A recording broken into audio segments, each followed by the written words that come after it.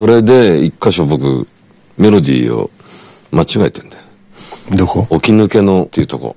起き抜けのっていうはずが、お、起き抜けのって言ったってんだよ。うん一応触ってんの。うん。で、みんな、ほら、カバーするときそのまま歌うじゃん。違うんだけど。